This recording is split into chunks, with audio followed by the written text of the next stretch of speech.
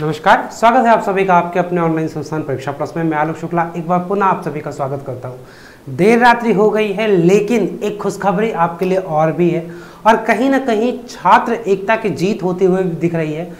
अभी आज एएसआई में तो हम लोगों ने जो भर्ती बोर्ड से यहाँ पे आ, वो ले लिया है है ना?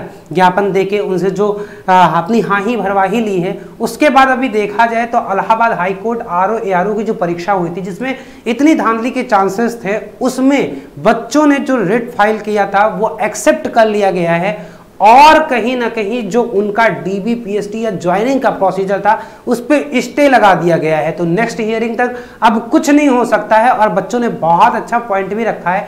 ये पूरा मैं आपको यहाँ पर दिखाऊँगा, इसको समझाऊँगा भी कि है क्या एक्चुअली लेकिन एक खुश होने की बात है और एक कॉन्फिडेंस आने की भी बात है कि एक बात समझना बच्चों की, अगर आप सही हो, अगर आप सत्य के रास्ते पे हो तो कोई भी चीज़ आपसे ऐसा हो ही नहीं सकता कि आपके हाथ लगे ना जो आपके, आप जिसके लिए डिजर्व करते हो। ये बात एकदम दिमाग में रख लेना। अगर आपने मेहनत किया है तो आपको थोड़ा सा एक्टिव होने की ज़रूरत है, अपने कदम को आगे बढ़ाने की ज़रूरत है, और अपने हक की लड़ाई जब आप लड़ते हो तो आपके हक में चीज़ें होती भी हैं।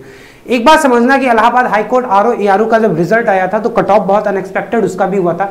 बहुत ही गंदा सा रिज़ल्ट था, उसकी आंसर की भी बहुत अजीबो गरीब थी, उसका सिलेक्शन पोजीशन भी जो प्रोसीजर था, बहुत ही अजीबो गरीब था, और उसके बिहार पे बच्चों ने जाके रिट दायर किया, और वहाँ पे उनका रिट एक्सेप्ट भी कर लिया गया, और बाकी चीज़ों पर स्टे लग गया है। पूरी प्रक्रिया में ये बात तो साफ़ थी कि कुछ बच्चों का जब पीईटी e के उसमें मिलाया गया स्कोर तो वो स्कोर का डिफरेंस बहुत ज़्यादा सा था, जिसमें साफ़ साफ़ पता चल रहा था कि कहीं ना कहीं धांधली बहुत बड़े लेवल पे हुई है। हालाँकि धांधली की बात रेट में तो नहीं की गई है, लेकिन बच्चों ने जो सबसे बड़ा मुद्दा था कि जो टाइपिंग के आधार पर गड़बड़ी हुई है है ना? क्योंकि रिट में ये तो प्रूफ अभी नहीं दिखा सकते हो, वो तो धीरे धीरे केस खुलेगा। तो वहाँ पे भी वो आएँगे प्रूफ की, यहाँ पे धांधली भी हुई है पेपर भी आउट हुआ है पेपर कराया भी गया है, ज़बरदस्ती बच्चों को पास कराया गया है, ज़बरदस्ती नंबर लुटाया गया ये सारी चीज़ें आएँगी एक एक करके। लेकिन सबसे ज़रूरी था कि आपका रिट एक्सेप्ट हो जाए और भर्ती पे स्टे लग जाए, अगर ये गैर कानूनी तरीके से किया गया है तो। तो वो हुआ भी, ये आपका जो पूरा है, इसमें बहुत सारे, एक नहीं, बहुत सारे बच्चे अलग अलग जो उनके सीनियर एडवोकेट हैं, उनसे जाके एडिट फ़ाइल किए, जैसे रॉबिन सिंह और अड़ती सदर का एक अलग किए हैं। ये सिद्धार्थ खरे जो सीनियर एडवोकेट हैं, अशोक खरे उनके साथ किया गया है। ये Arneet Singh and three other से ये इलाहाबाद हाई कोर्ट में रेस्पॉन्डेंट बना के, इसमें अभिषेक श्रीवास्तव, प्रियंका श्रीवास्तव इनके क्या हैं पेटिशनर हैं। ऐसे ही एक अलग जो रिट संख्या उनतालीस सत्तावन 2022 का जो है, इसमें सुशील कुमार भारतीय अलग ही रिट अपने बलबूते पे डाल दिया है। उसके बाद चार हज़ार बयालीस दो का श्याम सुंदर और दो लोग मिलके किए हैं। तो ऐसे बहुत सारे लोग मिलके एक ही चीज़ के लिए रिट डाल दिए थे, जिसको क्लब करके एक ही जगह पे पूरा कंक्लूजन लगा के उसकी हियरिंग रखी गई है। और हियरिंग में ये पॉइंट उठाया गया है, आप यहाँ पे देख सकते हो।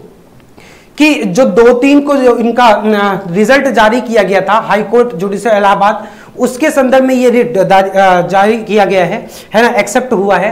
और इसमें कुछ मुद्दे बहुत ज़रूरी हैं कि एक तो क्या है कि जो एनटीए इसका है authorized by the respondent high court for conducting the examination pursuant to the advertisement dated 17 August 2021 को। 17 अगस्त 2021 को जो एनटीए ने रिज़ल्ट निकाला था, उसकी बात कर रहे हैं, लेकिन ये सब आपके मतलब की बात नहीं है। मतलब की बात आपकी शुरुआत होती है यहाँ से, ये आपका जो एडवर्टीजमेंट में दिया गया था है ना?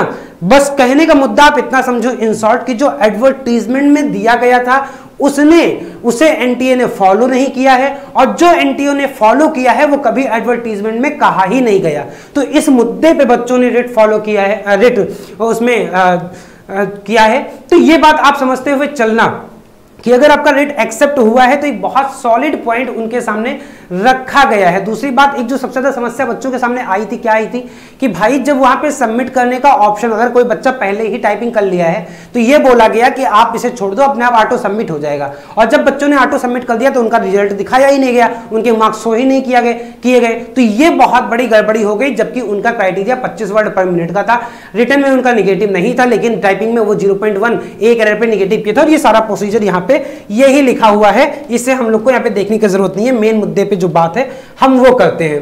तो यहाँ पे ये बोला गया है कि जो learned counsel for the petitioners have objection mainly for part second examination part second के लिए मेनली उन्होंने जो रिट है उसे रेज किया गया है। और ये जो नॉन सेलेक्टेड है, उनका टाइपिंग स्पीड 500 के अब आने के बावजूद भी नहीं शो किया गया है। और यह भी कहीं नहीं मेंशन किया गया था कि जो पैराग्राफ दिया गया था, वो 500 वर्ड का है कि साढ़े चार सौ वर्ड का है कि क्या सिलेक्शन प्रोसीजर लगाया हो, कि क्रॉस स्पीड लियो, कि नेट स्पीड लियो, इन सबके बिहाब पे यहाँ पे कहीं ना कहीं किया गया है। एक और मुद्दा जो उठाया गया है, वो मुद्दा ये है कि जो एक ब्लैक लिस्टेड कंपनी है, कौन सी है?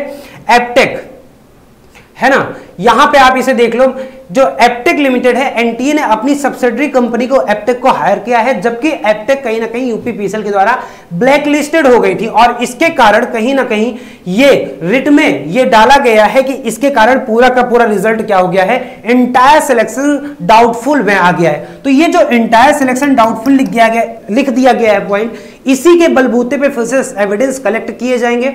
और होता क्या है कि जब आप रिट फ़ाइल करने जाते हो तो रिट उस पॉइंट पे फ़ाइल किया जाता है जो एडवर्टीजमेंट में पॉइंट दिया या नहीं दिया है। उसके बिहाफ पे रिट आपका फ़ाइल हो गया। और जो इन्होंने पॉइंट मेंशन कर दिया कि डाउटफुल है, इसके बिहाफ पे जो एविडेंसेस है, जो पेपर आउट हुआ है, उनको, उन चीज़ों को यहाँ पे आपके सामने उजागर किया जाएगा।